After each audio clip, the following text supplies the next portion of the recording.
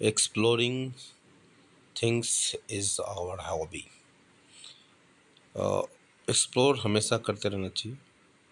अगर Christopher Columbus की habit नहीं होती तो अमेरिका। वैसे तो कहा जाता है अमेरिको विश्वसाय ने किया था, लेकिन कोलंबस ने यात्रा वास्तव में इंडिया की खोज में निकला था, लेकिन वो पहुँच गया था वो। इस तरह वास्को डिगामा के बारे में कहा जाता है कि उन्होंने भारत की खोज की हालाँकि एक गलत है, भारत के सी रूट की खोज की थी, भारत की खोज नहीं की बहुत बहुत पहले से था। तो मैं ऐसे ही नेट पर सर्च करने के लिए आया था सर्च करते करते मैं इन जनाब के वीडियो को देखने लगा। तो ये है, थोड़ा सा इनको सुने आप इन्होंने क्या कहा है। अगर आपने पाकिस्तानी स्कूल से तालीम हासिल की है यहाँ से एजुकेशन ली है और पाक स्टडी की किताब कभी पढ़ी है तो ऐसा हो नहीं सकता कि आपने मोहम्मद बिन कासिम का नाम ना सुना हो। क्योंकि जो लोग ये समझते हैं कि पाकिस्तान 1947 में बना mind you this is not the state narrative state narrative ये था कि पाकिस्तान बना 712 में जब मोहम्मद बिन कासिम यहाँ पर आया और सिंध पर उसने हुकूमत की उसके बाद से ही पाकिस्तान की बुनियाद डल गई थी। बाकी सारा जो अरसा गुजरा वो तो इंतज़ार था अपना वतन हासिल करने के लिए तो ये वो बयानिया था जो मैंने भी स्कूल में पढ़ा क्योंकि फ़र्स्ट सिटीज़न के नाम से पुकारा जाता था मोहम्मद बिन कासिम को। और बहुत से करोड़ों और पाकिस्तानियों ने पढ़ा। साथ साथ ये कि ज़ियाउल साहब के दौर के अंदर ये इंश्योर किया गया कि पहले जहाँ ये जो डोज एडोल्यूशन की ये पाँच या दस एम थी उन्होंने फिर पाँच सौ एम तक उसको ले गए ना। ये गोली थोड़ा और बड़ा कर दिया कैप्सूल उन्होंने। और उन्होंने कहा कि सारे पाकिस्तानी से खाएँ और सुकून की नींद सो जाएँ क्योंकि हम डिफाइन करेंगे आप कौन है। सही? तो कोई रीजनल लैंग्वेज कोई रीजनल कल्चर कोई रीजनल सकाफत कोई इलाकाई ज़ुबान कोई इलाकाई शनाख्त कोई आइडेंटिटी बची नहीं। उन्होंने ये कहा कि हम बताएँगे कि पाकिस्तान की तहरीक कब चली किसने चलाई कहाँ पहुँची और इसमें कौन कौन सा हीरो है और कौन कौन सा विलन है। और ये करते हुए बहुत से ऐसे लोग जिन्होंने बाहर से आकर सिर्फ़ प्लंडर लूट, मारधाड़ और इसके अलावा स्लेवरी यहाँ पर इन्फोर्स की, उनको सलूट मरवाए गए और बहुत से सन्स ऑफ़ द सॉयल जो कि अपनी मट्टी के लिए लड़के, अपनी जानें दे गए, उनको गालियाँ देना सिखा दिया। तो आज हमने सोचा कि पहले रोज़ से जो मोहम्मद बिन कासिम के हवाले से हमें तारीख बताई जाती है, क्या वो ठीक है या नहीं? कभी हम स्क्रूटनाइज करेंगे इन चीज़ों को जो कि हमारी सब कॉन्शियस का पार्ट बन चुकी हैं। आज तक पाकिस्तान के अंदर आप एक बिहेवियर देख लीजिए कि ये जो इन्वेडर मेंटालिटी है उसको सलूट मारने का अब भी इतना शौक है कि अपने बैकयार्ड में कुछ ज़्यादा हो जाए, बोलेंगे नहीं, लेकिन हज़ारों मील दूर से अगर किसी ने किसी के खिलाफ एक छोटी सी बैटल भी जीत लिया ना तो यहाँ पर डांस करते फिरेंगे कि अब कमाल हो गया। इससे बेहतरीन काम कोई हुआ नहीं है। तो क्या वजह है that we still don't own our own soil and we celebrate is invaders वो ये तारीख है जो नसीम हिजाजीज़ की फॉर्म में आप मुसलत की गई है, जिन्होंने ये बताया दरअसल कि इतना फिक्टिशियस किस्म की कहानी रोमांटिसाइज करके सुनाई और तारीख को ऐसा नज़रिए में आइडियोलॉजी में बदला कि लोग ये भूल ही गए कि फैक्ट इन्होंने बहुत सारी बातें कही हैं और इसको आप खुद एक्सप्लोर करें। कुछ इंपॉर्टेंट बातें जिन्होंने कही हैं, बस उन्हीं को मैं शेयर करना चाहूँगा। क्योंकि हर चैनल की अपनी आइडेंटिटी होती है, इनका रिसर्च है, इनका वर्क है। तो डिटेल आप इन्हीं के चैनल पर देखें तो बेहतर होगा। क्या रोमांटिसिज्म फैलाया है कि हमें ये लिटरेचर की फॉर्म में ये तारीख बताई गई? ये देखा भी नहीं कि ये मुसलमानों के कातिल थे दरअसल। और हमें क्या बताया कि इस्लाम फैलाने आ रहे थे? सिर्फ़ एक specific school of thought within the ideology उसको मेन स्ट्रीम करके रियासत का नरेटिव बना दिया।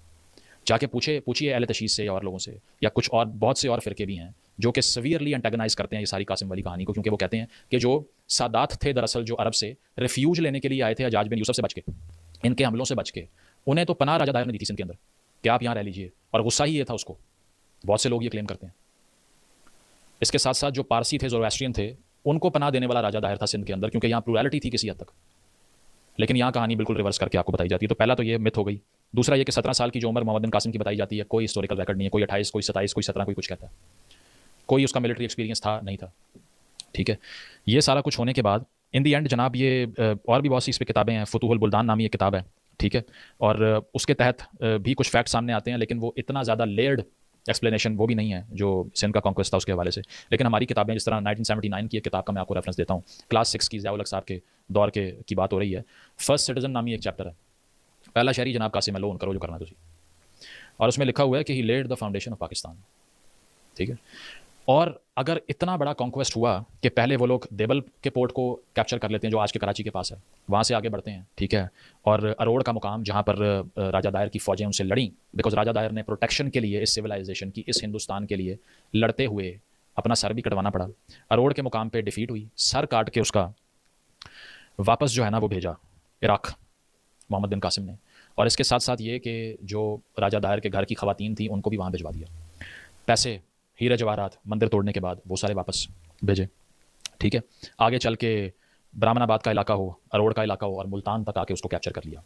और ट्रेजेडी देखिए कि जो लोकल बुद्धिस्ट कम्युनिटी थी, उन सबने इनको सपोर्ट किया अगेंस्ट द इंडियन कॉज हमेशा से हिंदुस्तान का यही डायलमा रहा है कि इंटरनल यूनिटी नहीं थी, इसीलिए डिसइंटीग्रेशन आ गई। और ये क्यों हुआ?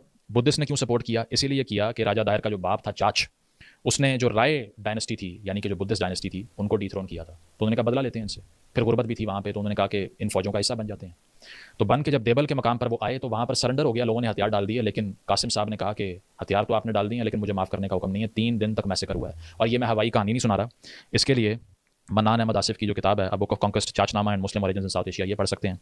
A page from history by Mubarak Ali ये पढ़ सकते हैं मुबारक अली साहब इज़ अ प्रेस्टिजियस हिस्टोरियन उन्हीं की एक और किताब अभी आप पढ़ सकते हैं, जिसका नाम है in the shadows of history by Mubarak Ali ठीक है? और जो मैंने इससे पहले आपको बताया, एक और किताब के बारे में आज़ाद यूसुफ के बारे में बात करा था तहजीब तहजीब में ज़िक्र है इसका। और फिर प्लेन हिस्ट्री भी है जो मैंने आपको खाना काबा पर जो उन्होंने अटैक किया था, उसके बारे में आप गूगल भी कर सकते हैं, जो आपको मिल जाएगा। इसके अलावा जी एम सैद को पढ़ सकते हैं, जो सिंधी नेशनलिस्ट राइटर भी थे इंटेलेक्चुअल भी थे पॉलिटिशियन भी थे लीडर भी थे, कि वो इस कॉन्कस्ट के बारे में क्या बोल रहे हैं। हम तो बाहर बैठ के बता रहे होते हैं कि सिंधियों हम आपको बताएँगे आपकी तारीख क्या है। तो वो खुद क्या कहते हैं, ये भी पढ़ लेना चाहिए। तो ये सारे अकाउंट्स इस बात को काउंटर चेक कर सकते हैं, इससे पहले कि आपने मुझे इल्ज़ाम लगाना कि मैं कोई मिसकंस्ट्रू कर रहा हूँ तारीख को। तो आगे सुनने के चाचनामा के ही मुताबिक, हालाँकि ये किताब इतनी कंटेस्टेड है जो मैं आपको बता रहा हूँ, और और हिस्टोरिकल रिकॉर्ड जिसमें फतूल बुल्दान है, ये क्या बताती है कि फिर मोहम्मद बिन कासिम ने ये विक्ट्री ले तो ली यहाँ पे? लेकिन उसके बाद में उसके साथ हुआ क्या, ये पता आपको? हुआ ये कि दो शहजादियाँ जो कि राजा दायर के घर में मौजूद थीं उनकी बेटियाँ दोनों, उनको जब उन्होंने ज़बरदस्ती अरेस्ट करके, क्योंकि आपको पता है कि यहाँ पर इस तरह की प्रैक्टिस थी वॉर के बाद के स्लेवरी और ये सब बना लिया करते थे। तो उन दोनों को वापस भेजा हजाज बिन यूसुफ के पास। और उन्होंने आगे वलीद बिन अब्दुल मालिक, जो उसको खलीफा थे वहाँ पे उमैद वहाँ पर भिजवा दिया उन दो खातन को। तो होता इस तरह से कि उन दो खातन में से एक खातून खलीफा साहब फरमाते हैं कि ये खूबसूरत है और he would like to be intimate with her तो वो आगे से ये बताती हैं कि दरअसल इस पूरे वीडियो को आप एक्सप्लोर करें और डिटेल इसको समझें और इतिहास का लेखन के बारे में आप अपने दिमाग को ओपन रखें कि जो कुछ भी हम पढ़ते हैं, केवल वही इतिहास नहीं है, बल्कि इतिहास को किस तरीके से हम देखते हैं, जो अब अनुभव होने लगा है कि किस तरह से तोड़ मोड़ कर पेश किया गया है, किसी खास लगता है किसी खास एजेंडे के तहत ऐसा किया गया है।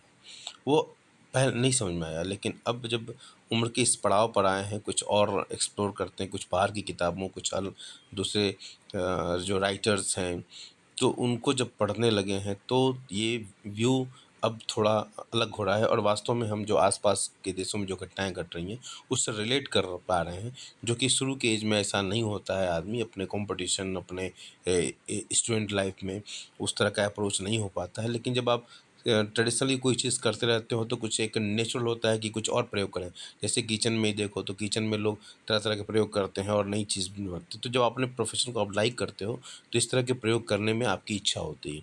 तो उसी प्रयोग का नतीजा है कि हम इस तरह की चीज़ों को अध्ययन कर रहे हैं और जो चीज़ें मुझे समझ में आ रही हैं, वो मैं इसको, इसके माध्यम से प्रस्तुत व्यस्त कर रहा हूँ। और इस किसी की प्राइवेसी को, किसी के अध्ययन को, किसी के कलेक्शन पर मेरा कोई उद्देश्य नहीं है कि उस पर, उसके पहचान को ख़त्म किया जाए और ज़्यादा डिटेल इन्हीं के चैनल पर देखना बेहतर होगा। Thank you.